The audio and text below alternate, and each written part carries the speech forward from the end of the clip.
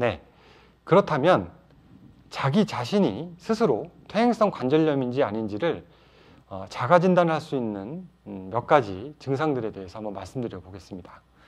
첫 번째, 어, 계단을 올라가거나 내려갈 때 무릎이 좀 쑤신다. 근데 앉거나 누워서 쉴 때는 또 괜찮다. 어, 두 번째, 무릎에서 삐걱거리는 느낌이나 소리가 나면서 아, 뼈와 뼈가 부딪히는 소리가 아, 마찰음이 크게 난다. 세 번째, 무릎을 굽히면 통증이 생기면서 점점 굽히는 동, 동작을 하기가 어려워진다.